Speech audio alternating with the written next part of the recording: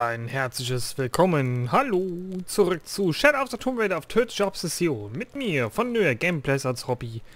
Und zusammen sind wir beim Mission von San Juan. Und müssen hier noch so ein bisschen Sachen erkundschaften und einsammeln. Wir haben ja schon einiges.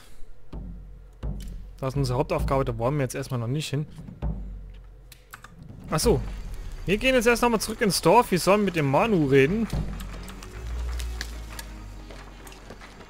Das machen wir jetzt auch nochmal schnell.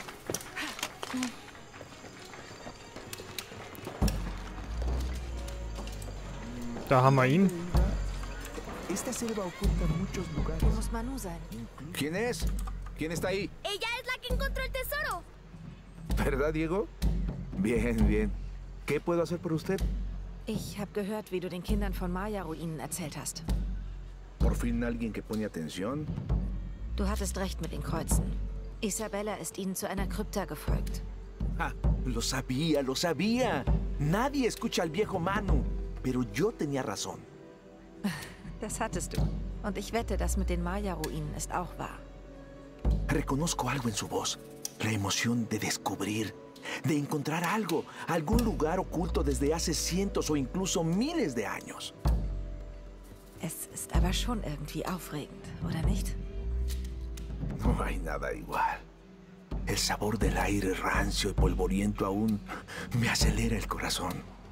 La gente moderna, esos que se dicen realistas, se cierran a un mundo de posibilidades. No podrían creer las cosas que vi. Ah, lo que daría por ver eso de nuevo, una última vez. Vielleicht kann ich für dich das Sehen übernehmen und die Maya-Ruinen begutachten. Podría ser eso. Si... Weißt du noch, wo die Ruinen waren? Vaya, ¿dónde estaban? Recuerdo un lago.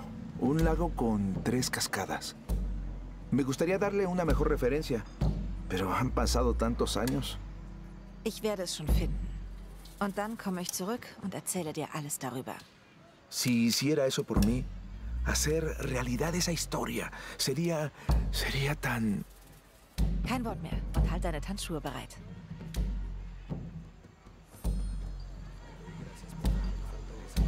Okay, Mysterin. Der Eingang zu Dings da finden. Ich habe gerade was gegessen, deswegen ich das Mikrofon aus. so. Da hinten ist es wohl. Gut, wir gehen jetzt hier zu dieser Krypta.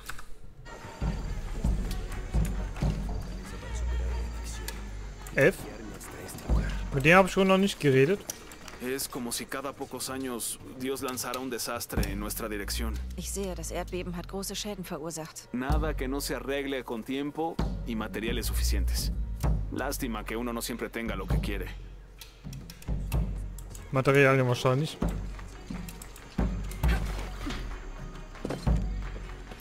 So, dann schauen wir mal, wo das Monolith ist.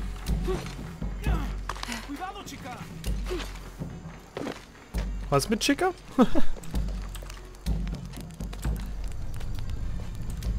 Einfach nur des Speichers halber. Hä? Achso.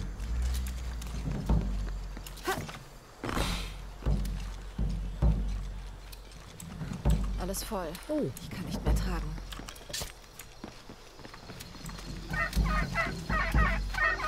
Da oben ist der Monolith, da ist auch ein Dings. Ein Pfosten mit Dings. Seil umwickelt, damit ich da rübergehen kann.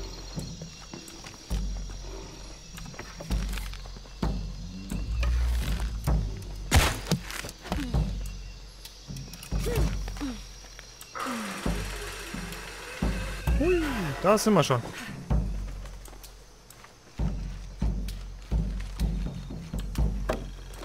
Ein Mülleimer. Hier ist der Monolith. Okay. Das beschreibt etwas in der Nähe. Ich schwimme mit einer Schildkröte. Gesehen nur von jenen, die die Furcht fallen lassen. Okay. Da an, an dem See oder in dem See.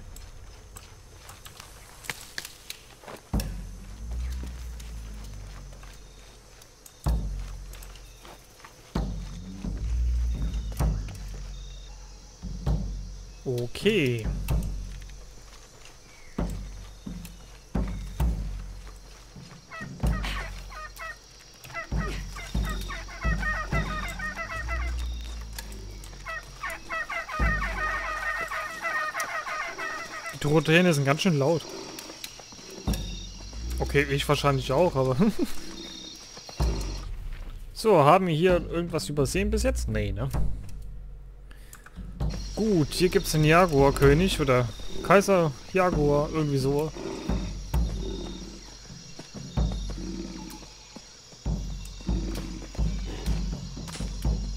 Ah ja, da ist er.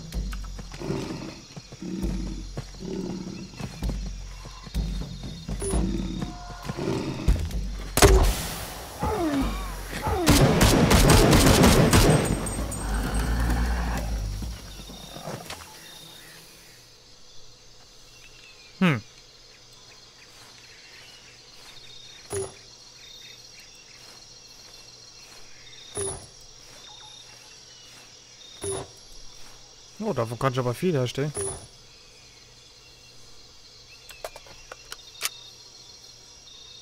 Kein Jaguar mehr.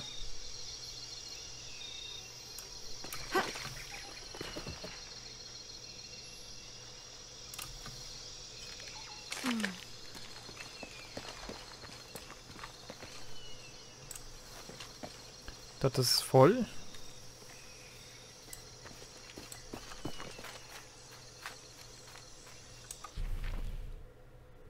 So. Gehen wir erstmal in diese Richtung.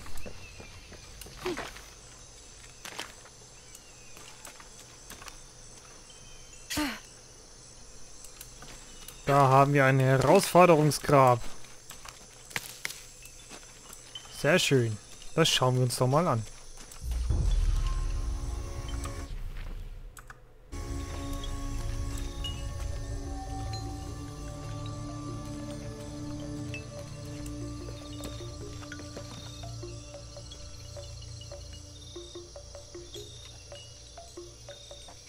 Die kennen wir. Was auch immer die immer hier macht.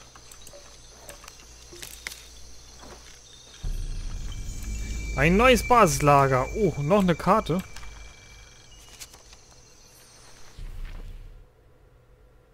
Oha, da gibt es ein bisschen was zu sammeln. Oh, da oben auch noch mehr jetzt. Junge, Junge, da bleibt uns noch einiges übrig zu machen. Der heilige Johannes war der letzte Apostel Jesu, der starb, und der einzige, dessen Leben nicht durch einen Märtyrertod oder Selbstmord endete. Als Verfasser von fünf Büchern des Neuen Testaments ist er der Schutzpatron der Theologen und Gelehrten. Durch sein langes Leben konnte er mehrere Schüler unterrichten, die seine Lehren nach seinem Tod fortführten und eine religiöse Denkrichtung begründeten, die bis heute Bestand hat. Mhm.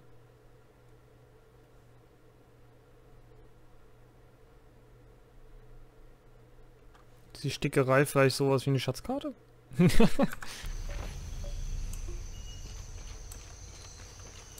so, dann gucken wir erstmal, wo diese nette Dame schon wieder hin ist. Da. Komm, sieh dir meine Waren an. Jeden Moment. Na gut, schau mal jetzt. Hallo.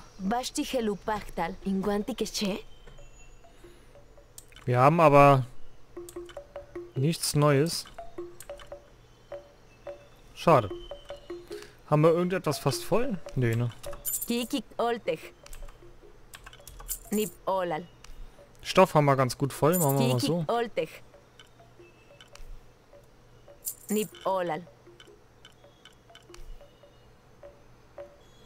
Kikik oltech. Okay, ich glaube, den Rest können wir erstmal behalten.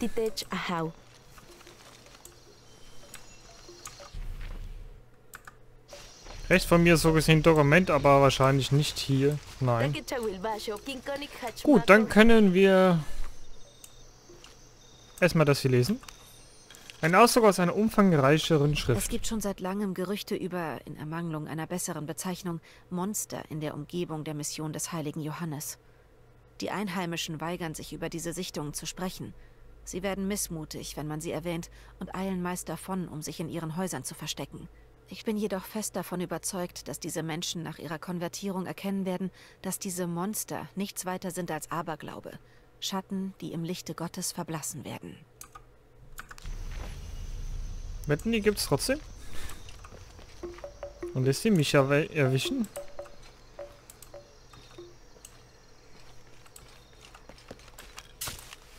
Die werden dann hier bestimmt auf mich warten irgendwo.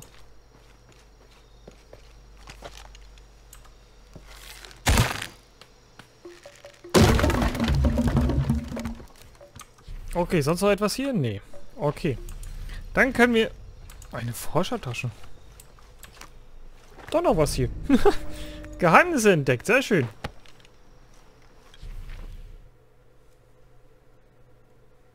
Hauptsächlich hier oben. Ein Überlebensversteck. Wow. so, dann können wir jetzt ins Lager gehen. Speichern. Dann ist das Ganze hier nämlich auch gespeichert. Deswegen wollte ich erstmal hier zu Ende gucken. Und dann gehen wir in das Herausforderungsgraben und schauen mal, was uns da erwartet. Hm, ich weiß ja nicht. Und ich habe vergessen auf die Zeit zu drücken, die wir spielen. Drei Fähigkeitspunkte. Das heißt, wir können wieder was erhöhen. Was machen wir?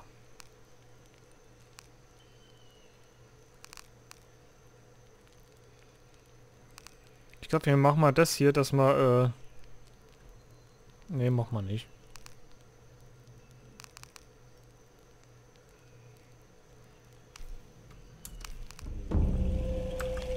So, die Konzentrationszeit erhöht. Okay. Dann, ähm... Ja. Ziehen wir uns mal sicherheitshalber um. Wer weiß, was uns hier drin erwartet. Und zwar reduziert Schaden durch Kugeln und Pfeile. Gesunder regeneriert sich in Kampfpausen schneller. Gewährt Bonus CP für nicht lautlose Kills. Okay. Dann warten wir das mal an. Und dann gehen wir mal rein. Also der Teil wird anscheinend wohl etwas länger gehen als, als normal, weil ich vergessen habe, die Zeit einzustellen. Schauen wir mal, wie lang der Teil dann wird. Ich mache jetzt einfach mal eine Viertelstunde und dann sehen wir mal weiter. War da was zum Einsammeln? Tatsächlich.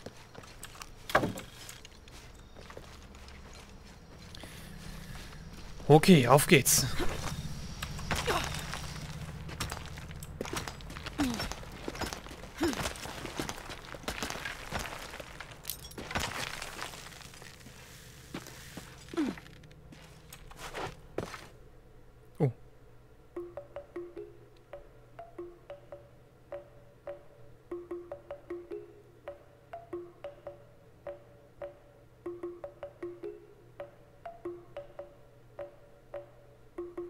Wollte gerade sagen, hier unten ist so schön still. Je nachdem, wie ich mich drehe.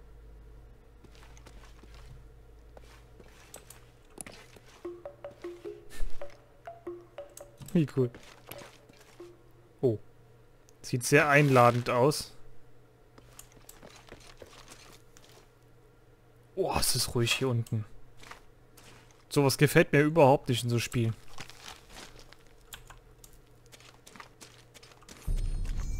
Unbekanntes Gebiet, Herausforderungsgrab. Und hier haben wir schon das erste Dokument. Bergkatakomben. Ein neues Basislager? Genau, das wollte ich eigentlich haben.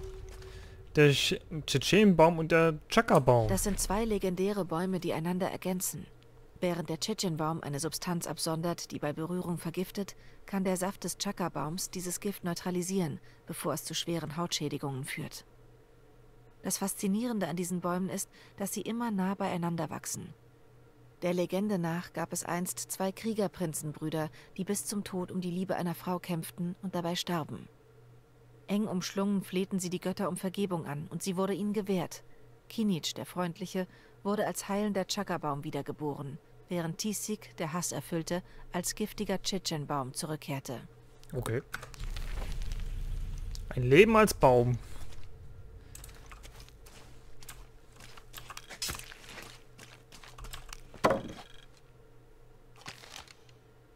Was sind das für Schatten?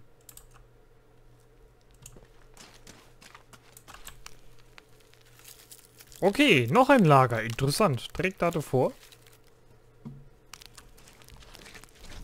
In der Welt gibt es echt viele Lager.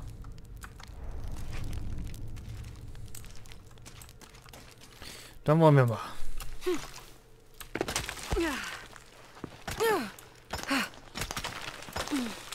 Sieht auf jeden Fall nicht gemütlich aus.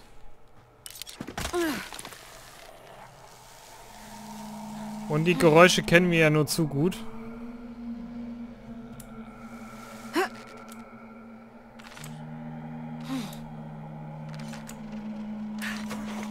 Da oben habe ich eben gerade einen langlaufen sehen. Ah, super. Na, das wird was. Klingt nach Ärger. Ich mag Ärger.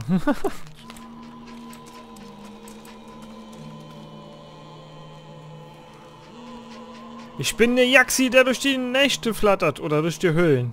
Der dir Ärger macht. Duckwing Duck. äh. Genau, irgendwie habe ich direkt vor meiner Nase ein Relikt. Jetzt ist nur die Frage, wo.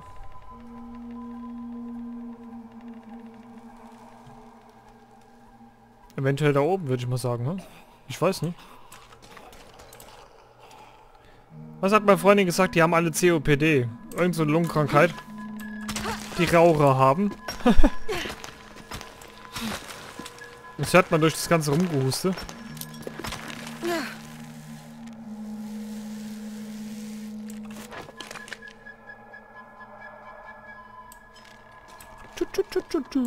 Pfeile, okay.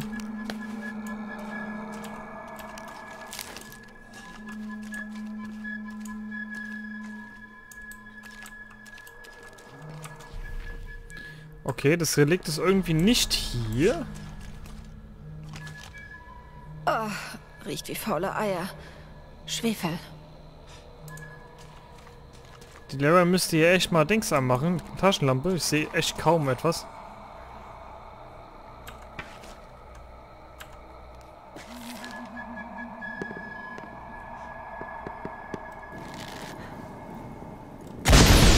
Uh.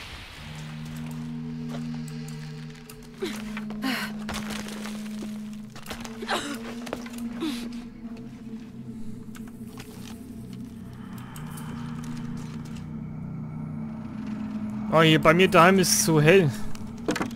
Da sehe ich kaum was an manchen Stellen.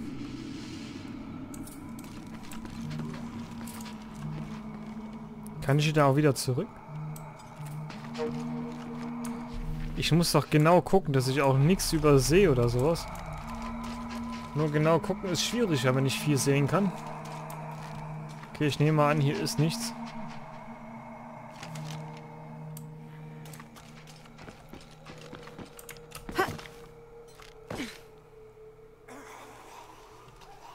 Alles klar.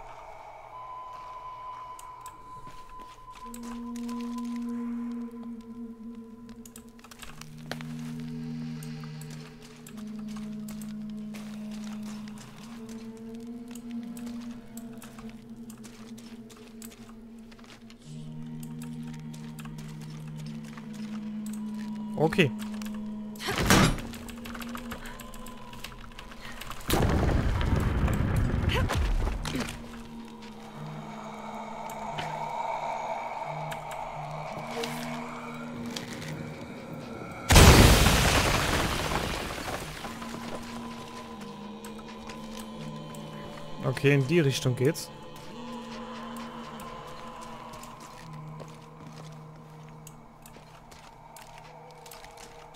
Gibt's hier keine Überlebensverstecke? Gibt's hier Überlebensverstecke? Nee. Okay, also nur drei Relikte, ein Wandgemälde und ein Dokument. Trotzdem, man will ja auf Nummer sicher gehen. Wer weiß, fehlt mir ja noch eine Forschertasche, die mir zeigt, dass es hier auch Überlebensverstecke gibt. Da unten leuchtet zum Beispiel. Siehst du? Wurde mir jetzt noch nicht angezeigt.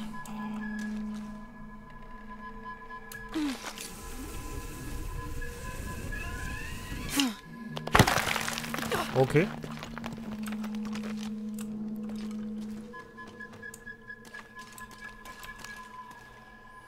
Was haben wir hier drin? Sachen, die wir bestimmt gebrauchen können. Schwarzpulver und sowas. Ja gut, okay. Doch, warum nicht?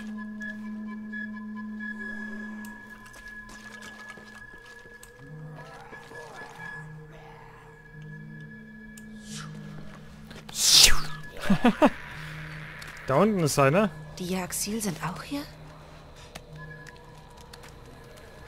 Die Dämonen.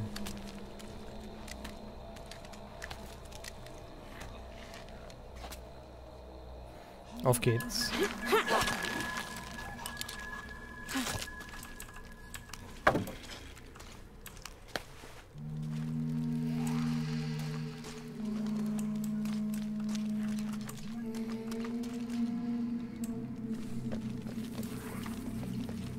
Okay, ich glaube, hier geht's wieder zurück. Wir müssen ja tiefer und weiter rein.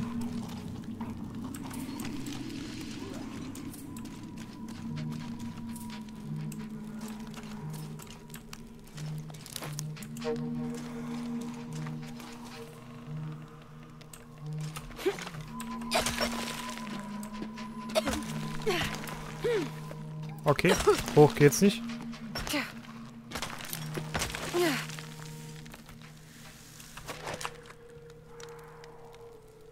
Okay, Rückweg. Rückweg ist somit gesichert. Na, warum hängt das hier so?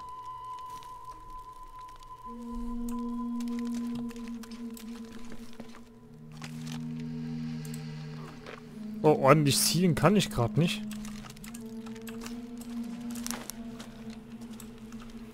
So ziehen kenne ich nicht.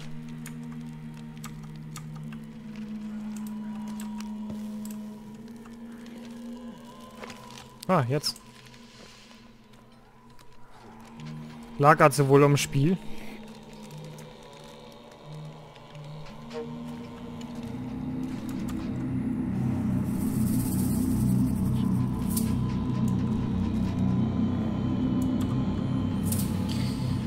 Es sieht sehr einladend aus hier.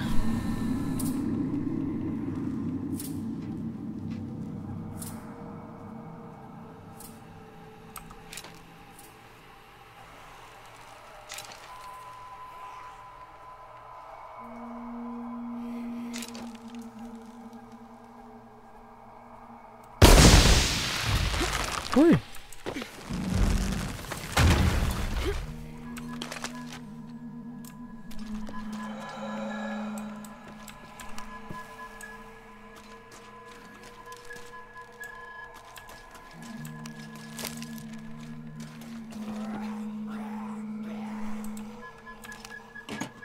Okay.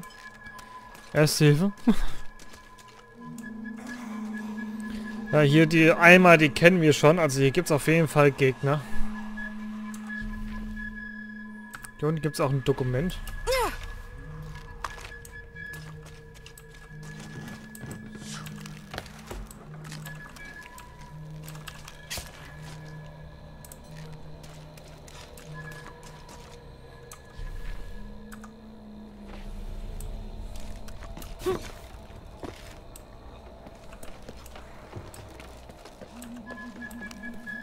Hier haben wir das Dokument. Eine Huldigung des Weltenbaums. Den Legenden der Maya zufolge wurzelt der Baum des Lebens, auch bekannt als Yashte, in der Unterwelt und wächst dann durch unsere Welt, bevor sich seine Äste schließlich bis ins Paradies erstrecken. Irgendwo in ihm versteckt sitzt Iztamye, ein Vogelgott, der angeblich sämtliche Geheimnisse der drei Existenzebenen kennt, durch die der Weltenbaum wächst. Bei den Nordmännern gab es auch einen Weltenbaum. Yggdrasil. Klang jetzt irgendwie fast sogar nach dem Gott, der hier in diesem Baum wohnen soll.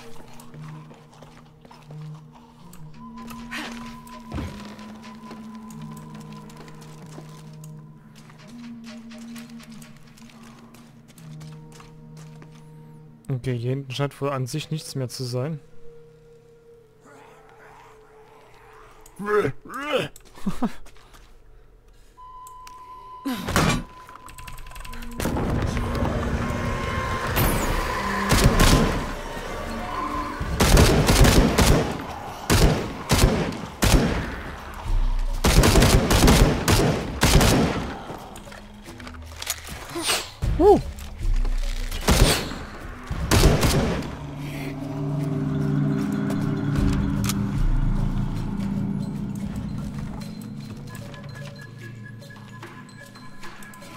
War noch gar keinen lautlosen Kills, oder? komisch. Okay, hier gibt's Gegner.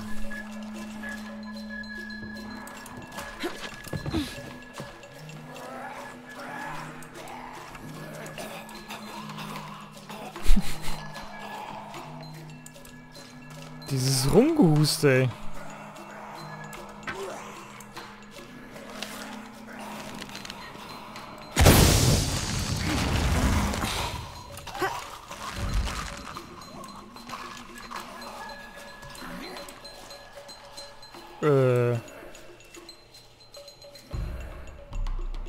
Okay. Wir sind bei der Aufnahmezeit angekommen. 15 Minuten so gesehen.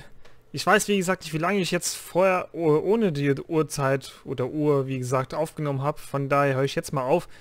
Falls es weniger als 20 Minuten sind, tut es mir leid. Dann ist es halt eine Folge mal etwas kürzer, aber es kann natürlich auch mehr sein. Dann könnt ihr euch freuen, könnt ihr länger gucken.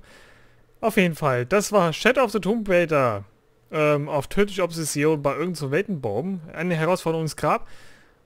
Ich glaube eher, das ist ja Chupchung-Baum oder wie auch immer, weil der so dunkel gehalten wird. Äh, Eher so der Todesbaum.